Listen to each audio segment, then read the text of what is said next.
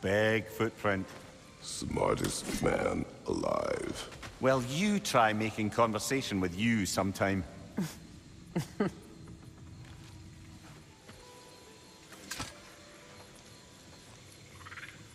Whatever's making these footprints, it knocked over those trees like they were twigs. Be careful. I am always careful. Oh, bloody hell, you're serious.